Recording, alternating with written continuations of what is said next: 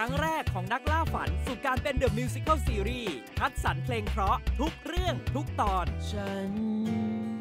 นั้นรักเธอ จากวันนี้คุณปอยมายืนทำอะไรที่หน้าห้องน้ำผู้หญิงอะครับต่อครับพี่ รักสามเศร้า ระหว่างชายสองหญิงหนึ่งเขามีเจ้าของอยู่แล้วครับ ฮะ AF11 The Series ทวนซ่าล่าฝันทาง True Vision